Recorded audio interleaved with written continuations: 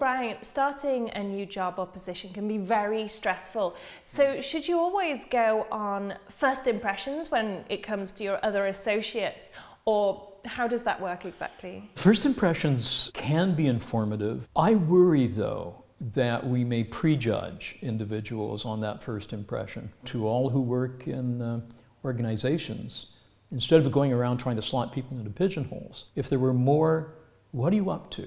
How's it going? I think that would have a, a wonderful redemptive influence upon the work climate. But I think what I'm trying to get to is how do you know who you can trust? For example, from my own experience, when I've started a new job, I found that the people who really try and befriend me very quickly are actually trying to scope me out because I'm competition, whereas the friends you eventually oh, make yeah. uh, are the ones that were yes. more reserved to begin with, and then you develop naturally that way. Right, yeah.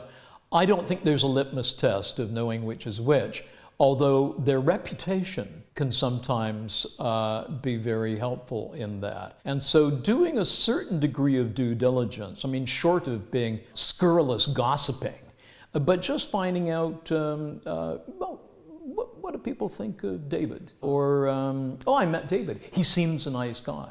And as soon as they say, oh, yes, yes, he's a nice guy, you have that little flare that goes up saying, warning, check out, check this out. And I think another concern for people starting new positions is when put in a stressful situation, you can almost adopt a personality that isn't yours. For example, you can overcompensate and seem yes. really arrogant just to sort of get through that situation. So, how do you yes. sort of overcome that? Again, awareness is really crucial. Seeing videotapes of oneself can be really illuminating. And most people don't see, well, selfies notwithstanding, most people don't see themselves interacting with others and they say, oh my goodness, I had no idea I was that gorgeous and intense and beautiful.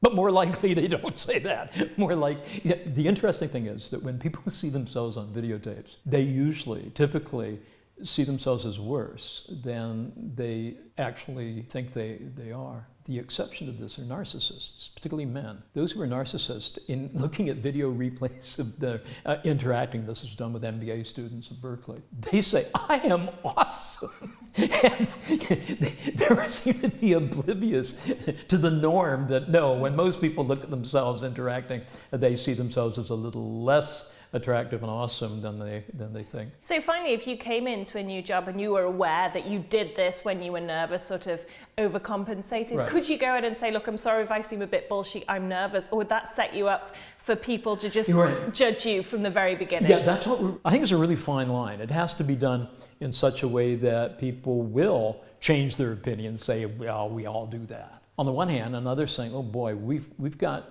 A lot of emotional baggage walking in the door on Thursday morning. And uh, it's a matter, again, of discernment.